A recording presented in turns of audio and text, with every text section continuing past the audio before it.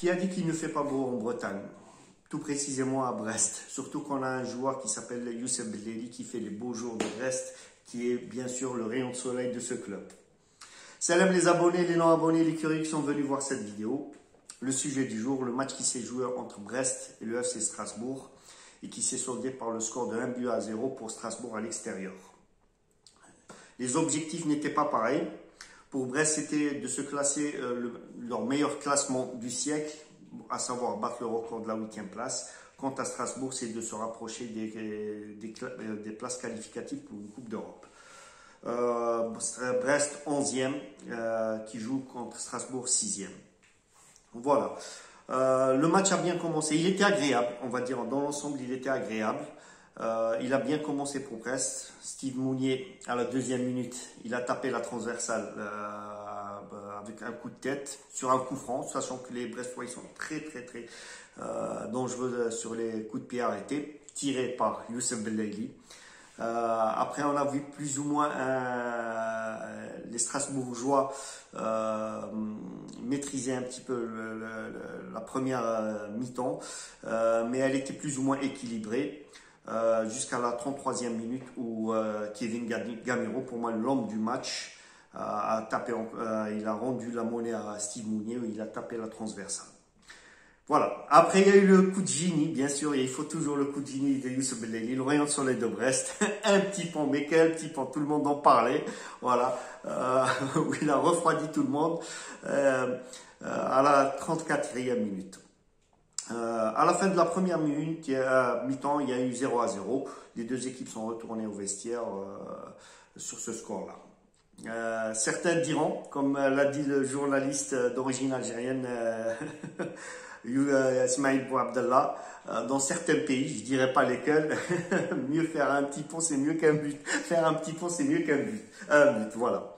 en deuxième mi-temps, en deuxième mi-temps, les Strasbourgeois sont rentrés avec plus de volonté, où ils ont géré le match, ils avaient plus d'envie, ils attaquaient.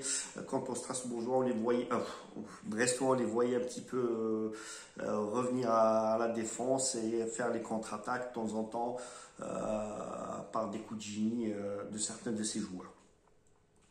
on a bah, Brest, avait, Brest elle avait un très bon gardien, le, Hollandais. Il les a sauvés à la 49e minute sur deux frappes euh, l'une après l'autre. Euh, après, euh, Brest a répondu à Strasbourg à la 65e minute par l'intermédiaire de Belleli avec une frappe enveloppée sauvée par le gardien strasbourgeois.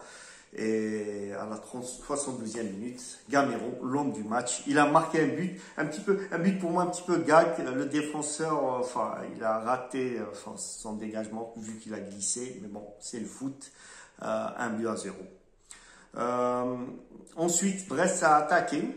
Euh, c'est là où il y a le tournant du match pour moi. Brest a, attaqué, a égalisé à, la 75e minute. Euh, voilà, un retrait de Bellaili sur Steve Mounier qui remet un, attaquant. Après, il y a eu un cafouage et c'est Saturniano, le Chilien qui marque le but d'égalisation. Sur la foulée, Darzarkaya fait trois changements dans Belaïli. avant de tirer le, avant de tirer le, le, centre pour euh, l'engagement, voilà que la VAR, la VAR euh, fait son entrée et annule le but pour hors-jeu. Euh, ça me rappelle quelqu'un. Gassama. je vais pas te lâcher, Gassama.